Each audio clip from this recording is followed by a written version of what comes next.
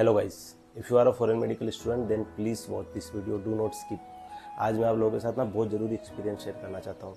मैं भी रिसेंटली दिल्ली गया था दो तीन दिन के लिए गौतम नगर में, जहाँ पे ज़्यादातर फॉरेन मेडिकल ग्रेजुएट्स रहते हैं, जो एफएमजी एग्ज़ाम की प्रिपरेशन कर रहे हैं। बहुत सारे मेरे दोस्त भी है जो मेरे साथ पास आउट हुए थे।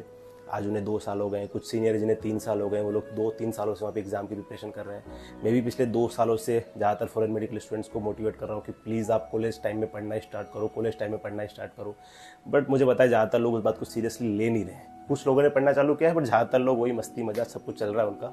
उन्हें ऐसा लगता है कि कॉलेज में इंडिया आने के बाद उनकी लाइफ बहुत मस्त हो जाएगी, इसी चीज़ें। तो मैं आज उनको क्लियरिटी दे दूँ कि भैया इंडिया आने के बाद ना उन लोगों की लाइफ इतनी बुरी हो गई है। क्योंकि चार अटेम्प्ट पाँच अटेम्प्ट उनको हो चुके हैं।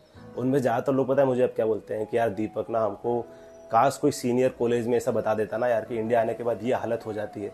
तो काश हम कॉलेज में ही थोड़ा थोड़ा पढ़ना स्टार्ट कर देते। तो काश हमारी आज ज़िंदगी जितनी आ, हमारी ज़िंदगी ख़राब हो रखी है वो काश अच्छी हो जाती। तो उन लोगों ने पता है मुझे क्या बोला कि प्लीज़ जूनियर को बोलो यार कि कॉलेज में पढ़ना चालू कर दे।